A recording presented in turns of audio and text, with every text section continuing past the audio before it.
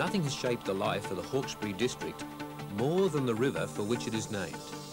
In fact, the district exists today because of the Hawkesbury Nepean River. However, the river has been both the saviour and the scourge of the district, its lifeblood and its curse. Since 1799, there have been 123 recorded floods in the Hawkesbury Nepean Valley. The floodplain area encompasses a number of major residential and commercial centres, including Penrith, Emu Plains, Windsor, Richmond and Bligh Park. Around 56,000 people, 17,000 homes and 3,600 businesses and industries are potentially affected by flooding.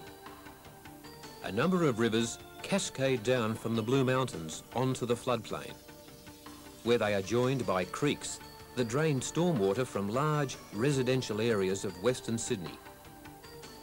In times of flood, a mass of water sweeps across this floodplain, pausing a while in the valley before slowly squeezing through nearly 100 kilometres of narrow gorge country on the flood's final thrust to the sea. The Hawkesbury Nepean Valley is often likened to a bathtub, where the inflow of water from a number of sources exceeds the capacity of the bathtub to drain away those waters. Waters then rise rapidly and to a great height.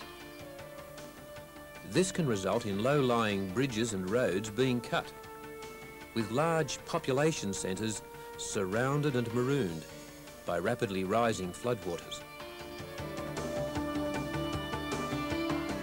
The largest flood in the valley since European settlement happened in June 1867, when the river rose 19 metres or 63 feet at Windsor. The flood, which took 13 lives, wreaked enormous havoc on the infant colony of Sydney.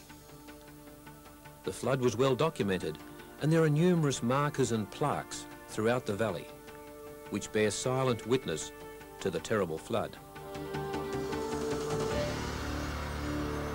During this century, development in the valley has accelerated.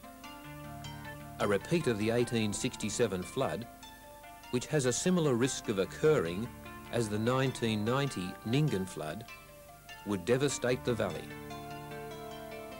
major residential and commercial centres such as Windsor, Richmond, McGrath's Hill, Penrith and Emu Plains would be inundated.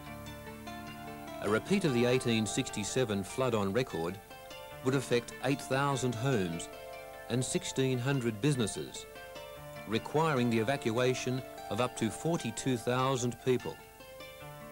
The damages bill would be around $1.2 billion. By far the largest river system that flows into the valley is the Warragamba River. That river stands Warragamba Dam. Construction commenced on the dam after the Second World War and was completed in 1960. At 142 metres high, and containing more than 3 million tonnes of concrete, it is the largest concrete gravity dam in Australia and one of the largest water supply dams in the world.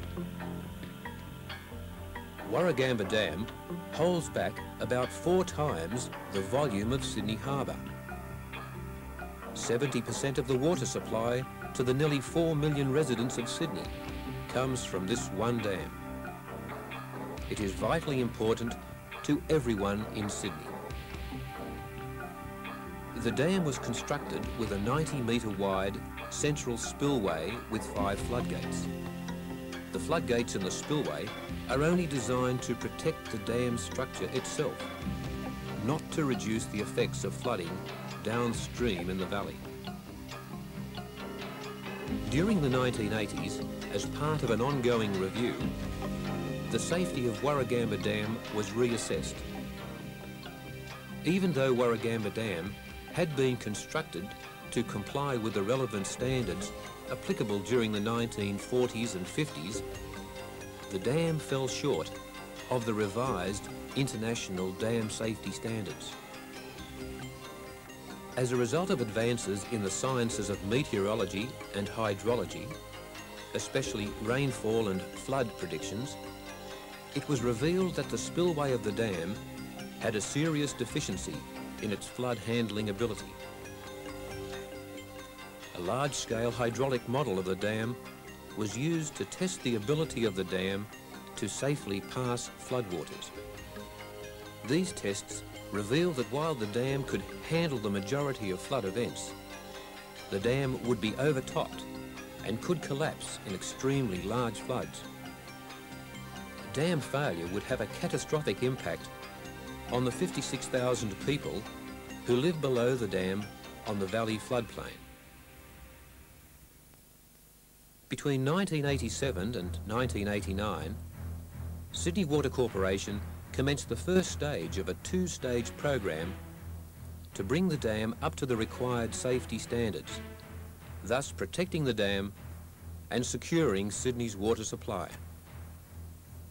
At a cost of $28 million, the crest of the dam was raised by five metres. The dam was further strengthened by the installation of a series of post-tension steel cables. The construction did not increase normal water storage levels, but has improved the capability of the dam to cope with larger flood levels.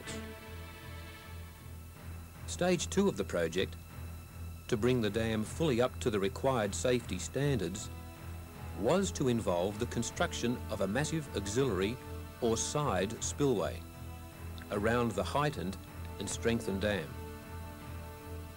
However, it was during the subsequent evaluation of the environmental impact of this proposed side spillway that the serious implications of the increased flood risk to the valley communities became known.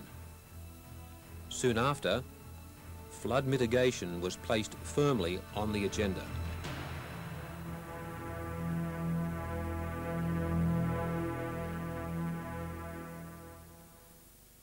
In a process that took more than seven years, over 20 proposals to provide both flood control or mitigation and dam safety were considered. The flood mitigation strategies included straightening and realigning parts of the Hawkesbury Nepean River, deepening the river bed by 10 metres, constructing huge levee banks along the river to contain floodwaters, building flood retention dams on the rivers draining into the dam. A massive bypass channel around the dam. An upstream flood mitigation dam. Or a mitigation dam immediately downstream of Warragamba Dam. Lowering the normal storage level of Warragamba Dam, so creating a buffer for floodwaters. Finally, in 1994, and following the recommendations from a special task force, the New South Wales Government announced a plan to mitigate the effects of flooding on Warragamba Dam and on the people in the Hawkesbury Nepean Valley. The government plan is in three parts. First, the State Emergency Service was to develop a detailed flood emergency plan specifying safety procedures during flooding. Second, a coordinated floodplain management plan being developed by state and local government authorities to minimise the risks and consequences of flooding in the valley. And thirdly, the construction of a flood mitigation dam on the Warragamba River. The government's preferred scheme is to raise the height of the existing dam wall by 23 metres, thus combining dam safety and flood mitigation in the one scheme. The mitigation dam will reduce peak flooding levels by up to four and a half metres in a repeat of the 1867 flood. It's been estimated that it will reduce flood damages by an average of $24 million every year. Modifying Warragamba Dam, however, is a major project. Around one and a half million tonnes of concrete, equivalent to half the concrete used in the construction of the original dam, will need to be added. The downstream face of the dam is thickened by up to 14 metres of concrete. The dam wall is raised by 23 metres and the spillway is modified by removing the existing floodgates and replacing them with large ducts or conduits. These huge conduits, large enough to drive a bus through, will be cast in the dam wall below the existing full storage level. After the flood peak in the valley has passed, the gates on these large conduits are opened to allow the temporarily detained floodwaters to flow down the valley, returning the lake to its normal full storage level as soon as possible. This proposal will cost $279 million and take about four years to build. The raised dam will not be used to increase Sydney's water supply. Constructing the flood mitigation dam and modifying the flow of floodwaters will affect the environment. To determine what these effects are, an environmental impact statement is currently being prepared by Sydney Water Corporation as the owner of Warragamba Dam. The effects of the flood mitigation dam can be divided into three parts. Impact on the Warragamba Dam site and local communities during construction. Impact on the upstream environment from the floodwaters temporarily held back by the mitigation dam. Impact on the downstream environment as the controlled release of floodwaters extends the period of flooding. It is expected that the Environmental Impact Statement, or EIS, will be released for public comment in July 1995. The EIS will be on display for three months, after which time the government will decide on whether to go ahead with the flood mitigation proposal. If the government approves the project, preliminary construction work should begin in 1996, with the project scheduled for completion in the year 2000. While the project will not altogether eliminate the effects of flooding in the Hawkesbury Nepean Valley, it will provide significant reductions in flood levels, with major economic and social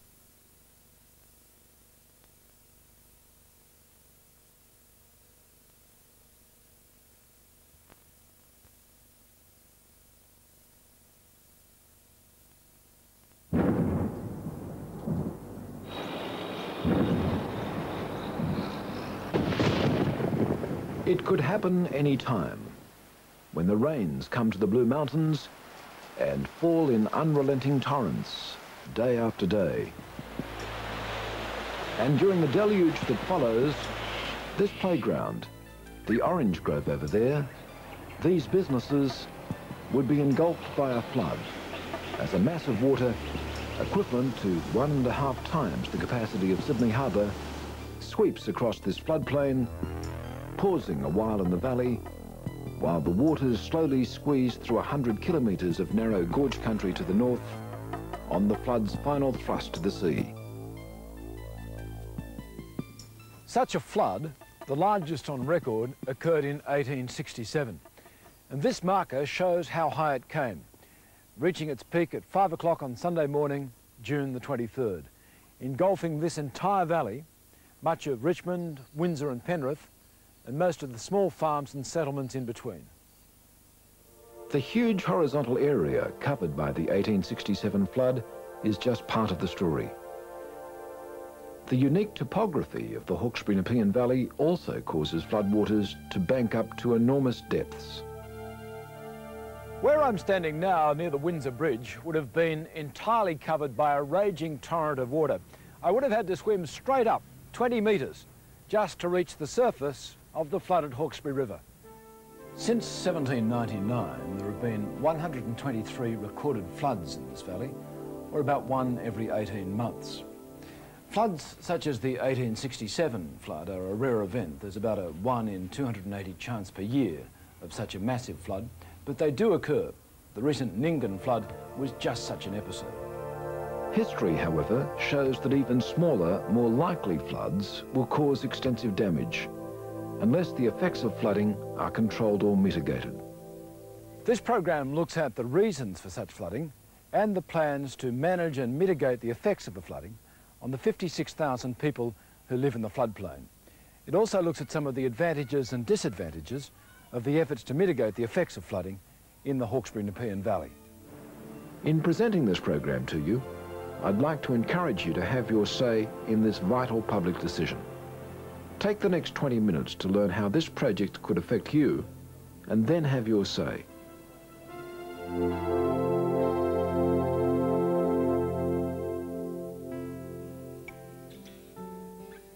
The first farmers came to the Hawkesbury Nepean Valley within two years of European settlement.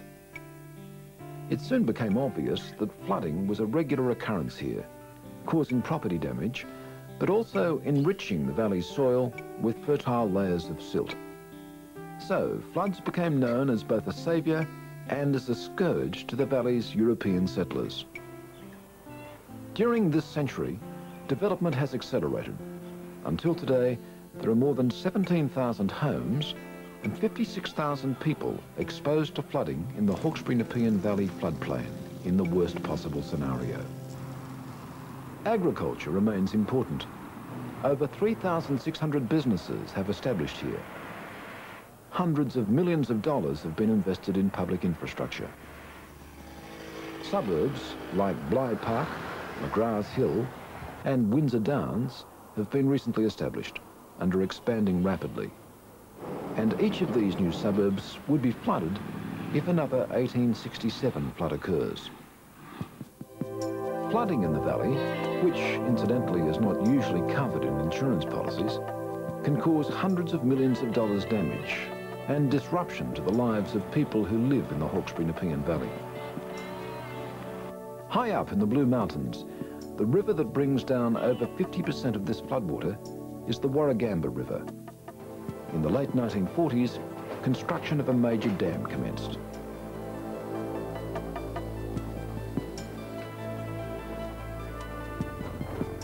The concrete wall of Warragamba Dam holds back 2 million million litres of water, or about four times the volume of Sydney Harbour. 70% of the water we drink comes through one of these pipes. So this dam is vital to everyone who lives in Sydney. When Warragamba was built, a spillway was constructed to prevent water from overtopping the dam during a flood. The floodgates and spillway were only designed to protect the dam structure itself not to reduce the effects of flooding in the valley downstream. To reduce such risk, a flood mitigation dam would be necessary. During a flood, water would be held back behind the mitigation dam and would be progressively released after the peak flood in the valley has passed. The floodwater's detention and controlled release, or flood mitigation, would dramatically reduce the severity of flooding and allows more time for evacuations. It's important to realise that the flood mitigation dam would not be used to increase the capacity to permanently store drinking water. It's not designed to be storage by stealth. The floodwaters would be released as soon as possible to enable the dam to cope with further flooding rains. Such floods can occur one after another, often in the same month. Here, three major floods happened in rapid succession in February 1956. The flood risk is much greater than had been thought in the past. Uh, the flood levels are much higher uh, for a given level of risk and uh, that obviously means that uh, many more people are at uh, risk from flooding than we had thought in the past. So what would flood mitigation mean here in the Hawkesbury Nepean Valley? Flood mitigation could potentially save $1.2 billion in damage and disruption in an 1867 style flood. It may save lives by reducing the height and speed of the floodwaters as they surge through the valley. But flood mitigation would require major changes to the existing dam. Such structural changes would also upgrade the Warragamba Dam to the current international dam safety standards. We've grouped all the data together.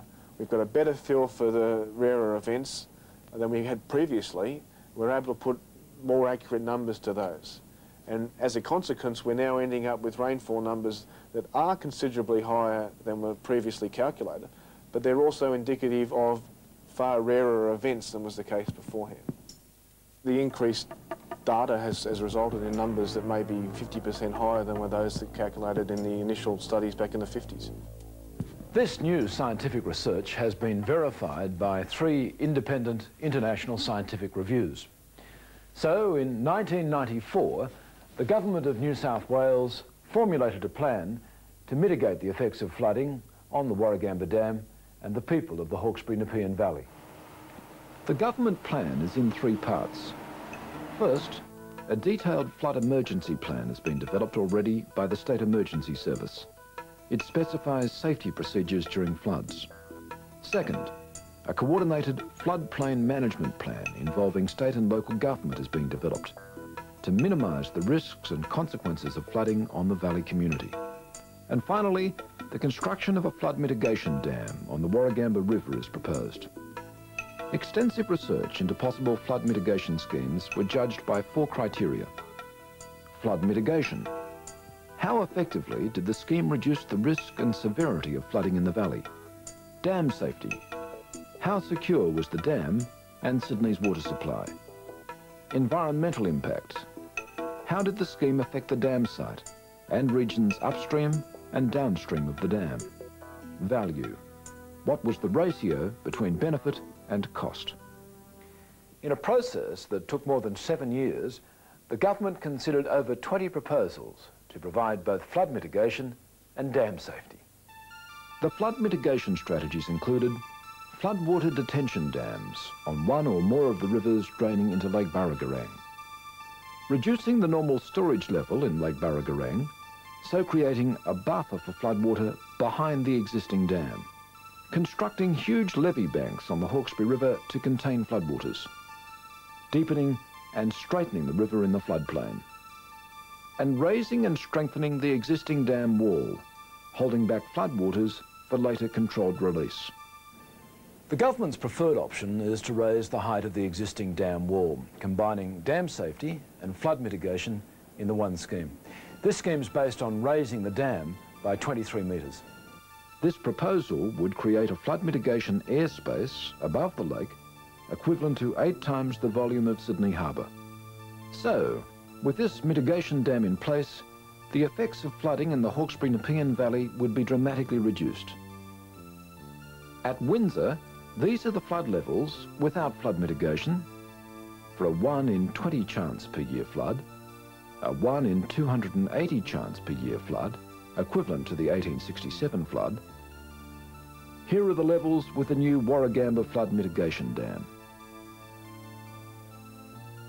The area affected by flooding is also significantly reduced. The mitigation dam would reduce peak flooding levels by up to four and a half metres in a repeat of the 1867 flood. And it's been estimated that it would reduce flood damages by an average of $24 million each year. And it would bring floodwaters in a repeat of the 1867 flood to below the 1994 planning level, ensuring that about 6,500 homes, which would be inundated by an 1867 flood, would be saved from flooding. The mitigation dam would also reduce the thunderous power of floodwaters as they gush out of the mountains and envelop Penrith and Emu plains, slowing the onset of flooding, thereby making the flood more manageable. Modifying the Warragamba Dam, however, is a major project. The downstream face of the dam is thickened by up to 14 metres of concrete. The dam wall is raised 23 metres and the existing 90 metre wide spillway is modified, with pipes large enough to drive a bus through, cast in the dam wall below the existing full storage level. The raised spillway would hold back floodwaters equal to double the volume of Sydney Harbour, or the kind of flood that has a 1 in 50 chance per year of happening. larger floods would build up in the lake behind the raised dam wall, equivalent to a further six Sydney harbours, but floods of this level are discharged freely over the spillway crest. After the flood peak in the valley has passed, the gates on these large pipes would be opened to allow backed up floodwater to flow down the valley, returning Lake Burragorang back to its normal full storage level as soon as is possible. This proposal would cost $279 million and take about four years to build. And while it wouldn't eliminate the effects of flooding in the Hawkesbury Nepean Valley, it would have significant economic and social benefits. The flood mitigation dam would reduce the risk of wholesale evacuation in floods and it would reduce the danger to life in the event of major flooding. In the process, Warragamba Dam itself would be upgraded to full international safety standards, protecting the water supply of the three and three quarter million Sydney-siders who rely on it for water. Constructing the dam and modifying the flow of floodwaters would affect the environment. To determine what these effects are, an environmental impact statement, an EIS, has been prepared. The effects of the flood mitigation dam can be divided into three parts. Impact on the Warragamba Dam site and local communities during construction. Impact on the upstream environment from the floodwater temporarily held back by the mitigation dam. Impact on the downstream environment as the controlled release of floodwaters extends the period of flooding. At the dam, one and a half million tonnes of concrete would be poured, involving around 115 round trips a day by trucks at the peak of the project. Residents would also be affected by some noise from the construction site, which would operate late into the night. Consultation with the local community has already taken place, and plans to reroute traffic away from the school came from these discussions. Roads into the township would also be upgraded at a cost of around $4 million. Several native species have been sighted near the dam site, including a small colony of rare and endangered brush-tailed rock wallabies and common planigale. Strategies for the management of these native animals during the construction periods are being developed.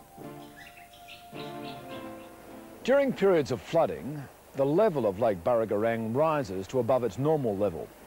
It drains quickly, causing little damage to the environment. However, with the 23 metre flood mitigation dam, waters would flood the shores of Lake Burragorang to much higher levels, although still only temporarily.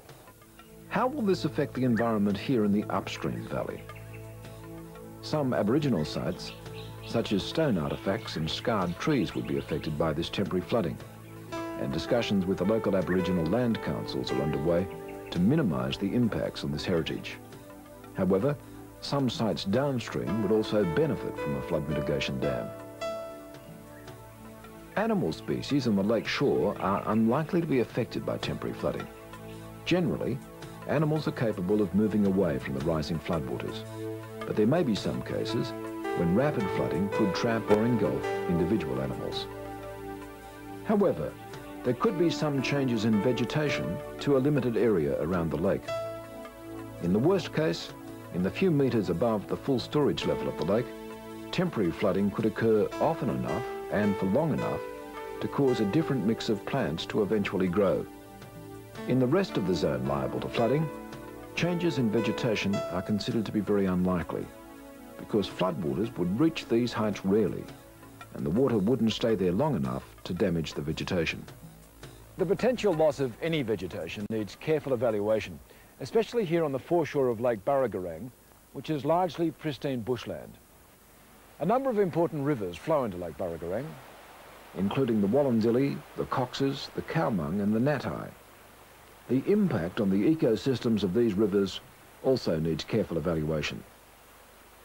These areas contain specimens of nine rare and vulnerable plants, important populations of the Camden white gum and the Hakea species too.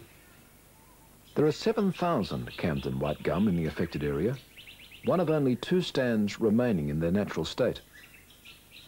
The Hakea species too consists of a number of small shrubs, of which about 30 will be affected by flooding. Already a seed collection and regeneration program is underway, and the CSIRO is testing the Camden gums for their tolerance to flooding. While periodic flooding would occur in this area, no vegetation would be removed as part of the flood mitigation strategy. There may be some change to the number of individual species, but it's believed no particular species would be lost. So to gain the benefits that flood mitigation offers to the community downstream, there is a disadvantage, a possible change to the mix of species in a limited area of the bushland on the edge of the lake. Downstream, there are also a number of impacts. Because a mitigated flood is discharged more slowly, roads and bridges may be cut for longer periods. Industries like sand and gravel mining and turf farming may also be affected by these longer flood release times. Certain parts of the river banks will be underwater longer, possibly affecting some plants and trees that have less tolerance to flooding.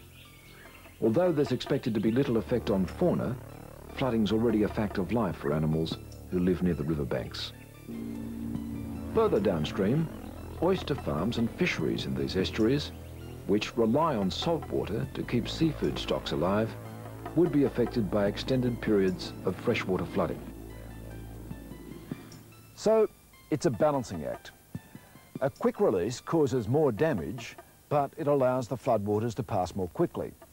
A slow release reduces the damage but extends the period of flooding. There's no easy answer, and trade-offs will have to be made by the community at large. For this reason, it's important that you have your say in the community consultation process. Various release rates of up to 3 million litres per second, that's about half of Sydney Harbour in a day, have been tested using computer simulations. The results from these tests are published in the EIS, allowing you to examine them and to make suggestions on the optimum release rate for the floodwaters.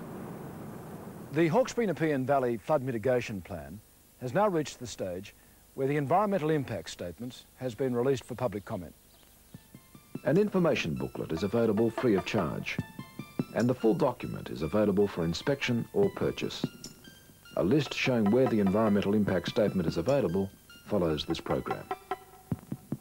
The EIS will be on display for three months and you're invited to comment on it in writing.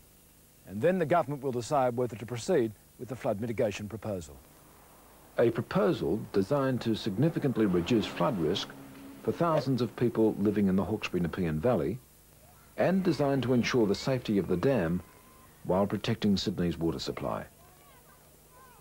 The issues involved in mitigating the effects of flooding in the Hawkesbury Nepean Valley are complex ones.